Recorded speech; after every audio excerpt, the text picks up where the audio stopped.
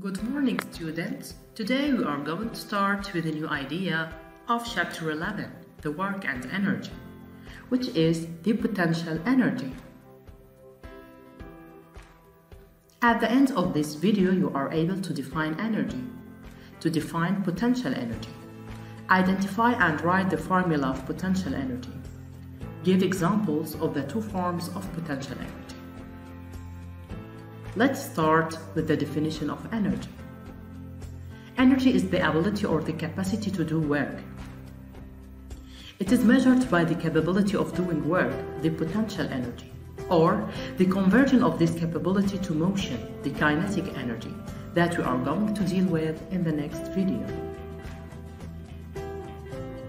In other words, we can say that the energy is the ability to cause change, which makes something do something or it's what causes change in everything. Earthquakes, rain, even human growth is all because of energy. Here we have two types of energy the kinetic energy and the potential energy. That in turns has two forms the gravitational potential energy and the elastic potential energy. But what we mean by the word potential? The word potential is stored so we can say that the potential energy is the stored energy. This energy may be stored due to position or shape. If it is stored due to position, so the type of potential energy is gravitational, GPE or PEG. And if this is stored due to shape, then this type is elastic potential energy denoted by EPE or PEE. So, the gravitational potential energy depends upon an object's height above a reference point. To calculate this gravitational potential energy at a certain point, we multiply the object's mass multiplied by the Earth's gravitational pull by the height of the object above the chosen reference. So the formula of GPE or PEG is equal to the mass multiplied by the gravity multiplied by the height, mgh. Take into consideration that any point on the reference frame has no height, so its gravitational potential energy is equal to zero. Here is a table that represents the formula and the unit of each symbol. The formula of the gravitational potential energy is mgh, where m represents the mass in SI unit kilogram. G represents the acceleration due to gravity. Unit is meter per second square and h represents the height of the object above a chosen reference with the unit meter.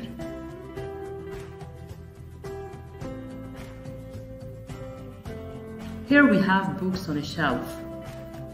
All the books have a gravitational potential energy. But which books have the most gravitational potential energy and why? Take the reference for gravitational potential energy is the ground where the boy stands on. Think for a few seconds.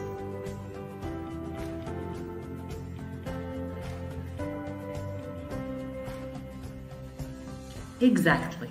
The farthest books from the ground has the greater gravitational potential energy since as the height of the book increases compared to the reference that taken on the ground, then the gravitational potential energy is greater.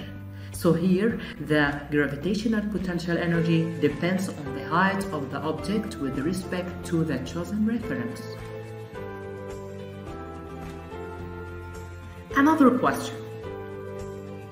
A man and his cell phone are on a ledge outside a very tall building.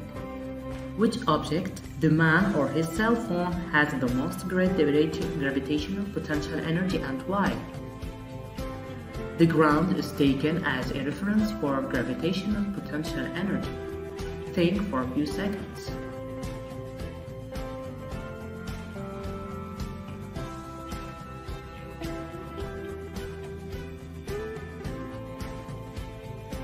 Here, the object, the man and the cell phone has the same height above the ground, but the variable here is the mass. The mass of the man is greater than the mass of the cell phone. then the gravitational potential energy of the man is greater than the gravitational potential energy of the cell phone. So here the gravitational potential energy depends on the mass. So as a conclusion, the gravitational potential energy depends on two factors. The first one is the height and the second one is the mass. The higher the object, the more potential energy. The greater the mass, the more potential energy it has. So we can conclude that the gravitational potential energy depends on both the mass in kilogram and the height in meter.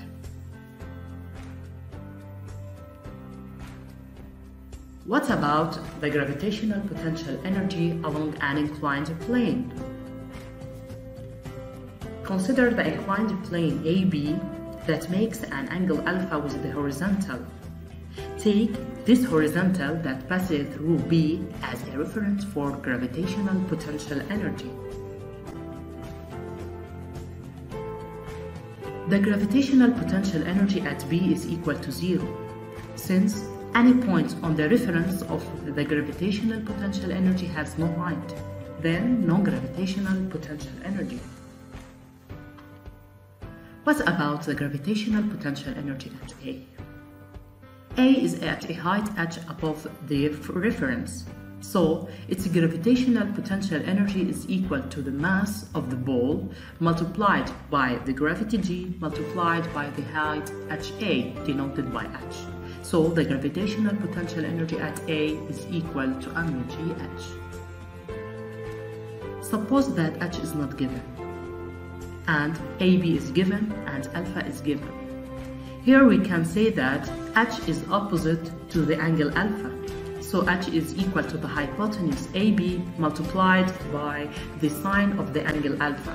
So the gravitational potential at A can be written in the form mg AB multiplied by sine alpha. Knowing that AB sine alpha is the height at the point A.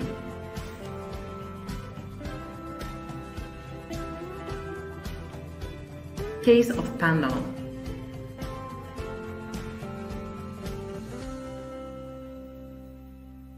At equilibrium position of the pendulum.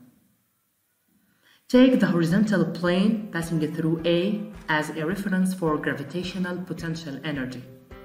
So, the gravitational potential energy at point A is equal to zero. H is equal to zero.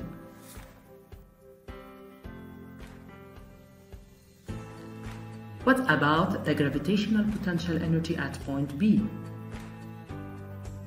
In the second picture, we have that the height for point A is, is represented by or denoted by HA. The height of the point B is HA. HA is equal to OA minus OH. OA is L OH in the triangle OPH is equal to the hypotenuse L multiplied by cosine theta.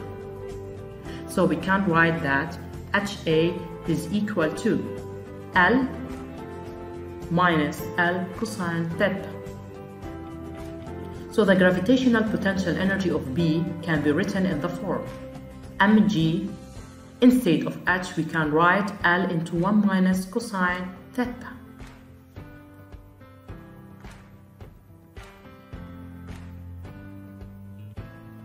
Examples of gravitational potential energy. Water at the top of waterfall. You, you in your, in your hand. It stores energy because of position.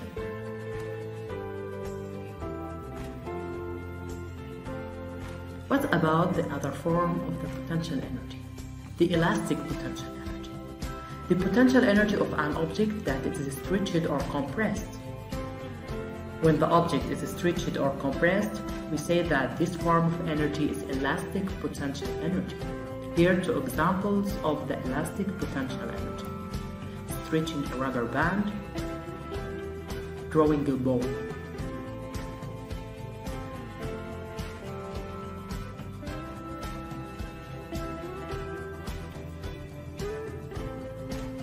The ball has energy because work has been done to change its shape. The energy of that work is turned into potential energy.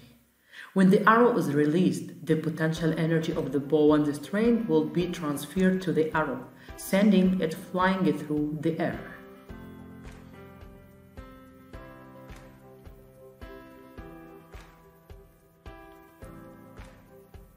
Similarly, compressed or squished springs also have potential energy. A spring has energy because work has been done to change its shape. Just like the bow, the energy of the two work just like the bow, the energy of that work is turned into potential energy. So these are two examples of the elastic potential energy. So simply, there are two types of potential energy. At first, the word potential means stored. When I say stored energy, it means able or about to do something but is not just yet. This ball could fall, but it hasn't yet. There are two basic examples of potential energy. For elastic energy, the ball can shoot the arrow, but it isn't right now. So elastic energy is caused by changing the shape of an object, stretching, bending, pulling, or squeezing. For the gravitational potential energy, the boulder can fall, but it hasn't yet. So the gravitational potential energy is caused by the force of gravity pulling down on an object while the object is being held up. So at the conclusion, we have two main types of energy, the kinetic and the potential. The potential energy is a stored energy. The potential energy has two types, the gravitational that depends on position and the elastic that is stored due to shape. The gravitational potential energy depends on mass and height and, it, and it's equal to Gp equal mgh or mg ab sine alpha in the case of inclined plane or Gp equal mgl into 1 minus cosine alpha in the case of the pendulum. The SI unit of energy is joule. See you in the next video with the kinetic energy.